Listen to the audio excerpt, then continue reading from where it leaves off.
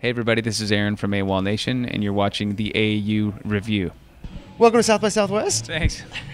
Thanks for having me. Welcome to the madness. Yeah. Um, I'm- I mean, I guess this is pretty exemplary of, of how South by Southwest is in general, isn't it? Yes, that's kind of how life on the road is in general. You know, I think people come together at South by and experience a little bit of what it's like, uh, you know, for us touring folks, you know, on a day-to-day basis, basically. That's right. It's a, as, as they often say, if you can survive South by, you can survive anything. True, very true.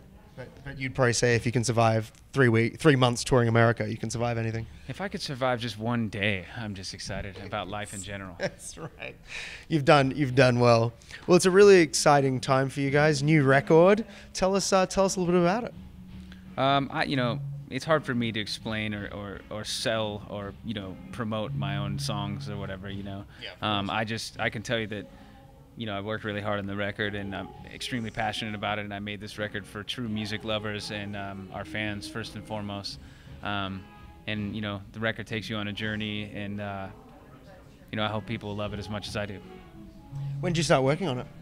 I've been working on this one my whole life. I feel like you know, I've, I really, I really uh, always wanted to make this kind of an album. And most most artists say that you know, the old saying goes, spend your whole life making your first record, and then six months to make the second record. Um, I feel like I spent my whole life writing the second record because I always wanted to make a sophomore follow-up. I've never had an audience that was um, anticipating anything I've done before. So this was the first time I really had uh, confidence that people were at the very least going to listen to what I had done.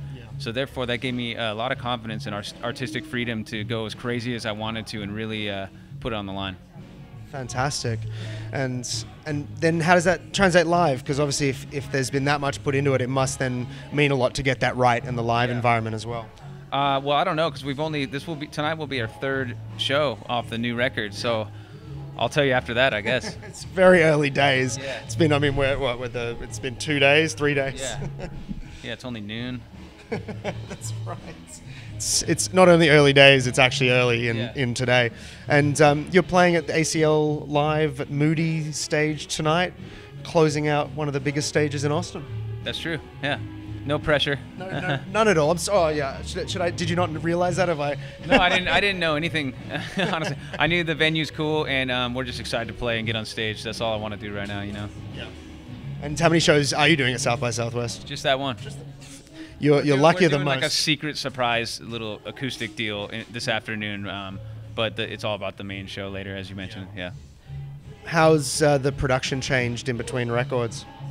Um, uh, hopefully, I've gotten better as a producer, you know, and, and I, I know I pushed the boundaries a little bit more with uh, the sound of the record, and and you know, it's definitely a more brutal, heavy sounding record, and um, a little bit darker, you know. So uh, I'm never one to advocate forcing music down people's throats. So you know, I'm not here to tell everybody they're supposed to like it. Uh, we've never felt the need to, to tell people to like it. We want listeners to discover us and come to us. You know, to a certain extent, we have to promote the record and all that.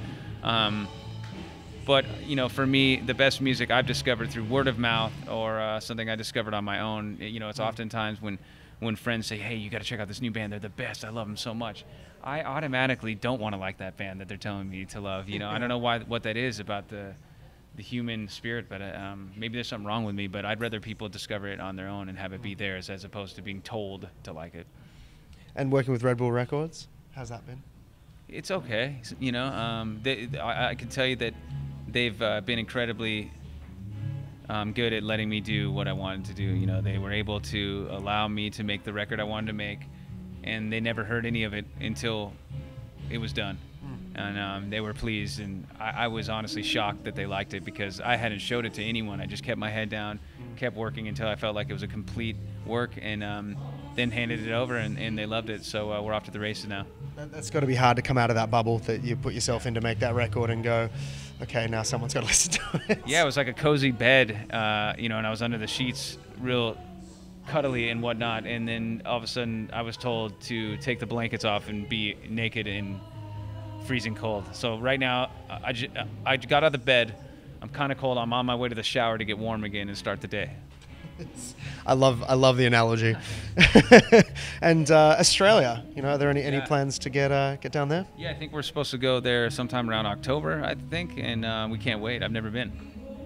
It's about time. It's Yeah. it's. I mean, it's obvious. It's often not. It's, it often takes a couple of albums Yeah. for bands to get down Well, there. so far, Yeah. you know, but we'll be there, and we can't wait. And I'm a surfer, as most people know, so uh, hopefully I'll, I'll get exposed to maybe some secret spots if anyone wants to turn me on, because I have no interest in surfing with a hundred guys ever. You know, I'm surrounded by enough dudes in my uh, traveling circumstances, anyway. So And, and no one just wants to get slammed in the face with a surfboard as well. no, I mean I live in Malibu where it's so crowded, so I'm often just searching to find the least populated wave um, to just surf with a couple buddies. yeah. And you know, but you know, you go to Zuma. There's not really that much, uh, that many waves there anyway. You've got to you got to find the right Zuma, ones. No, actually, Zuma has its days, and in fact, this last winter it, and last summer it was, it was really good, and um, the right angle and the right sand situation and the right wind.